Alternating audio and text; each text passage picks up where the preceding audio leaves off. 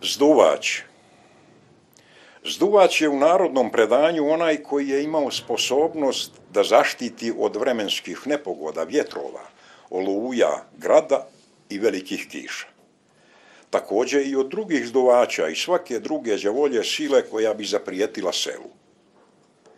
Sa tim zlim pojavama su se sukobljavali tako što bi im tijelo napuštala duša i odlazila tamo gdje prijeti opasnost borba bi bila velika i jaka kad bi se duša vratila u tijelo, a zduvač se probudi u znoju.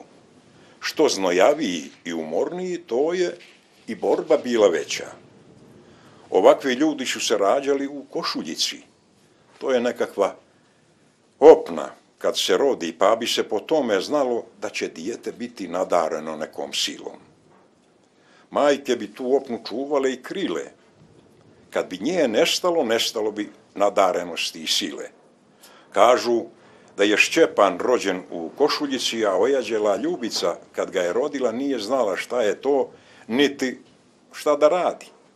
Prepala se i Košuljicu zapalila. Zato je Šćepan imao šoravo lice. Svo lice mu je bilo perutavo i osuto. Zduvači jednog mjesta su se borili sa zduvačima iz drugog mjesta i nanosili uz pomoć vjetra i oluje gradonosne oblake na njihovu teritoriju. Nije rijetko da su opsjedali tijelo nekih životinja, čiju bi snagu koristili u borbi. Čudni su ljudi, ti zduvači. Ne kaže naš narod zaludu udarile zdube, umanite. Stefan je bio kao i svaki drugi težak, običan čovjek, veliki radnik i poznata poštenjačina u selu. Imao je sedmoro djece, a oženjen od najuglednije kuće u plemenu.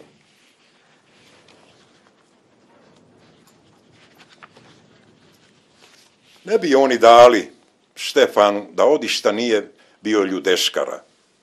Imanje dobro, stoke dosta, i sve je to stečeno velikim radom i trudom. Na izgled to ništa ne bi bilo čudno da se ne poče čučkati po selu, da je zduvovit.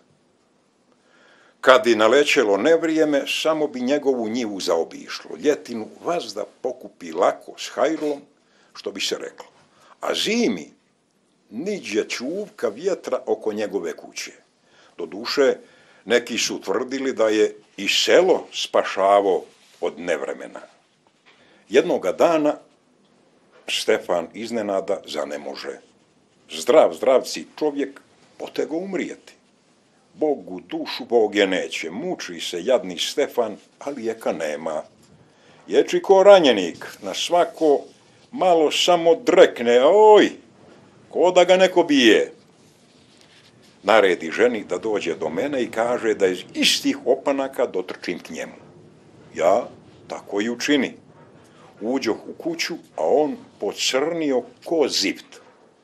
Dade mi znak da sjedem kraj njega, a ostalima naredi da izađu. E, moj Jovane, ja ti ne mogu ostati živ ako mi ti ne pomožeš, a možeš ako hoćeš. Ja sam zduvač i iz dotičnog sela me onaj zduvač jevrem nadjako i ubi me. Noćas idi u planinu sam, a ponesi samo jedan dugački štap i ništa više. Kad dođeš u crveno žrijelo, tu čekaju jedan vakat, naići će dva baka, bijeli i crni. Ja sam ti onaj bijeli, a crni je jevrem. Mene propušti, a crnoga dobro ošini tom tojagom. Ali pazi bijelog, nemoj da ti jadna majka nije, nego crnog. Haj, Pojitaj ako misliš da ti preteknem. Skočih bez riječi, zatečen sa svim što sam čuo i izađoh iz kuće.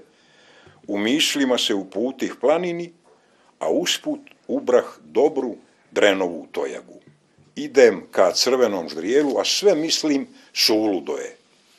Nekakvi bakovi, kakvi bakrači. To Stefan buca u bolesti. S tim mislima banuh naždrijelo. Tišina planine nekako me umami i na tren zaboravih zašto sam tu. Izmisli me trgnu nekakav tutanj i vriška, skočih sa kamena, a dokopah onu tojagu. Za tren se stvori da se niz drijelo čeraju dva baka, baš onakva kako mi Stefan ispriča, bijeli i crni. Načero galonja onoga bjelana, kad ga sustigni, rkni ga rogovima, stigni. Pršti kamenje pod njima, bi rekao, sipaju varnice, a iz nozdrva im bijela pjena udarila. Bjelan bježi i posrće, a galonja mnogo krupniji i jači, olako ga stigne, pa ga pikne rogovima, đa utrevi. Nekad u slabine, nekad u kulju, a nekad u vrat. Krv lije iz bjelana i lipti na sve strane. S kamenjen gledam dok se u jedan čas obretoše predame. Ja ti popušti onoga bijeloga, a kad naiđe galonja, njega dobro ošinuh neđe po sredini. U tom trenu i oni prolećeše i nestadoše iza nekih greda. Opet nasta tišina i tajac, a ja se primakoh selu. U tom i svanu uputih se pravo Stefanovoj kući. Kad joj se primakoh, a Stefan me dočeka riječima Dobro došao, Jovane spasitelju. Ostah u čudu. On zdrav, zdrav sit čipik. Ko da nije sinoć bio na umoru. Privatih Boga, pa uđo smo u kuću. Odmah se na siniji obrete i rakija i kava narezaše ovčijeg suvog mesa. Uz razgovor i piće provedo smo nekolika sata. Neko donese glas u susjedno selo, iznenada umro jevrem. U sred noći ga srce izdalo. Groma čuo nije. Pomislih, nije srce, no moja drenova tojaga.